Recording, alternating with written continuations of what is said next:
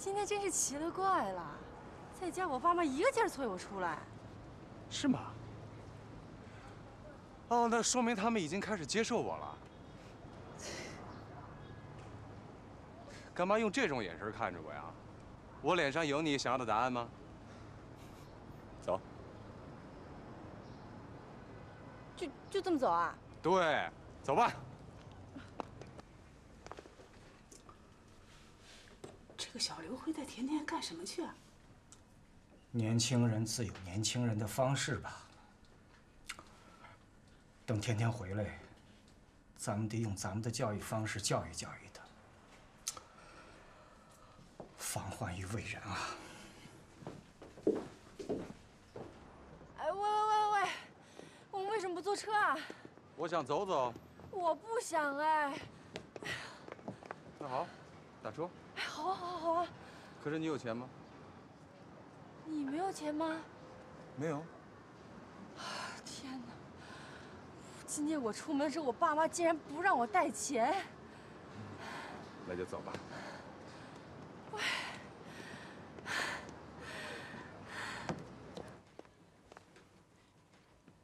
如果说董事会他真的要我离开的话，根本不可能会让上峰这么轻易的来救我。所以，我认为是另有其人。而这个人呢，就跟偷周田的日记根本就是同一个人。就是为了要你这个位置？还有其他的目的吗？那你打算怎么办？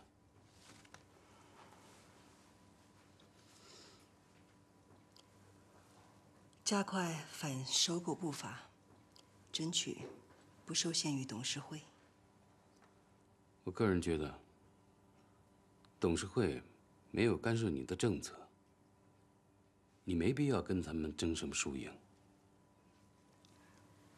能力的大小，关键要看他的老板是谁。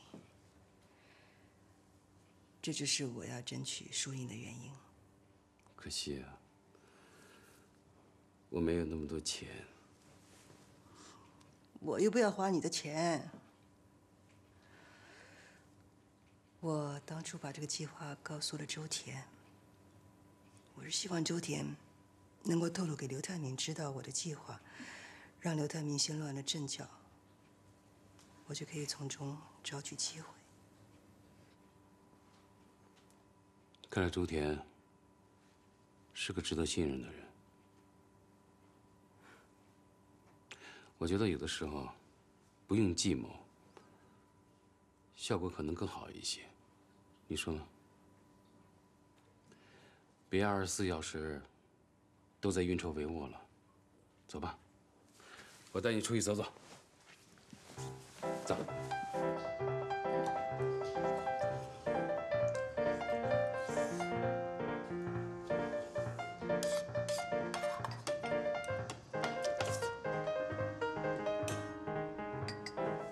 板结账。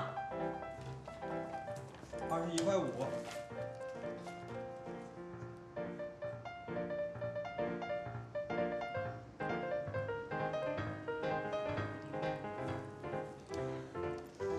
老板，这么贵啊？这还贵呀？不好意思，老板，我没带钱。这又没带钱呢。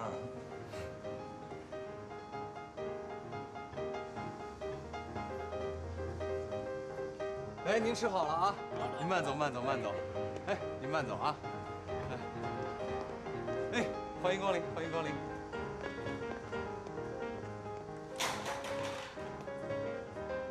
哎，你这样不对。这样。喂，这样洗能洗干净吗？没事儿，照你那样，天黑都洗不完。哎，你是每天都这么开心吗？我有活干，有地方吃，有地方住，以后还可能交到女朋友。最重要的，我在北京，你说我能不开心吗？嗯，是该开心。哎，你也别叹气了，我就洗两个碗嘛。等你洗完了，你还能跟你男朋友想干嘛干嘛去。哎，你知道吗？我们这以前的洗碗工一天到晚不吭声，谁跟他说话他都不搭理。你猜后来怎么了？怎么啦？来了俩警察把他带走了。为什么呀？他在家犯了事儿，是躲到北京来的。所以我说，只要是没做过亏心事的人，谁都不乐呵呢。你站在这儿干嘛？赶紧出去招呼客人去。哦哦，好好。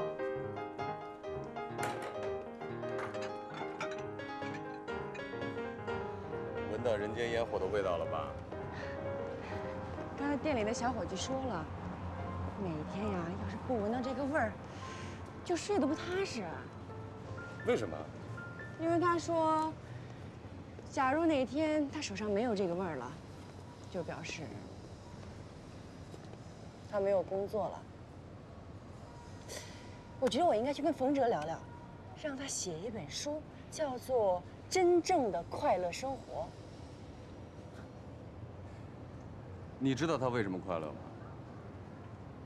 是因为他从来没有做过亏心事。我知道你今天为什么不带钱出门，我爸妈安排的吧？我只是想让你知道，即使我们身上一分钱都没有，这一天我们依然可以过得很快乐。我真的从来没有想过要拿丽兹的回扣，只不过跟你们说一下而已，你们就弄得如临大敌似的。甜甜，这种事情你以后会经常遇到。如果现在不制止，恐怕以后会成为习惯。你也太小看我了吧？就我那么一丢丢钱，我就折腰了？就冲你这句话，我还真要干点亏心事儿。好啦，刘泰明主编大人，那你这个身无分文的人，怎么带我度过这个周末呢？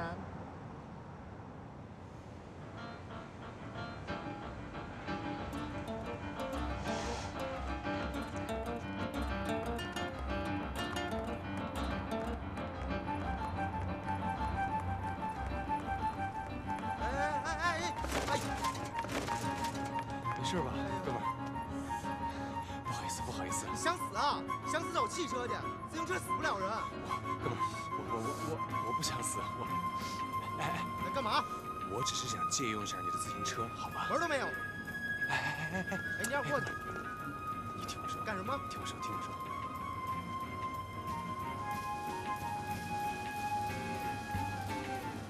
啊，行行行，用吧用吧，莲花都给你了。哎，谢谢。没事，用吧用吧。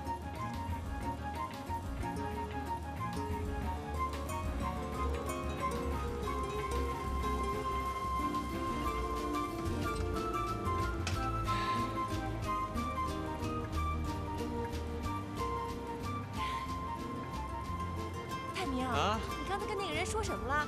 他怎么连车带花都给你了？我跟他说，你答应嫁给我的条件就是可以免费的坐一圈自行车。你停车，不要再开这样的玩笑了，好不好？甜甜，我没有开玩笑。我要告诉你，我一直在找一个我可以真心真意去爱的女人。我发现我找到了。你能嫁给我吗？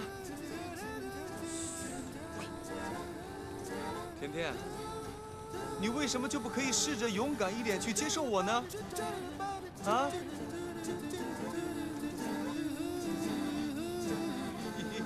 快点，快点，快